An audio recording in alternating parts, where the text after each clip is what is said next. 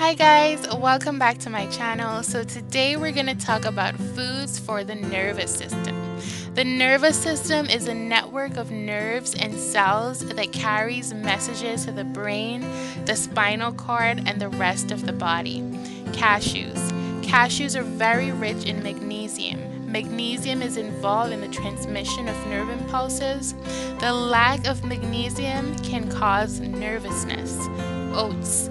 Oats balances the nerves, absorbed slowly and provides several hours of energy improves mental performance, and is recommended for students when taking exams.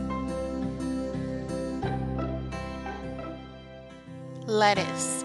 Regular consumption of lettuce may help with anxiety. It provides vitamin B, which helps with nervous system stability. Pine nuts.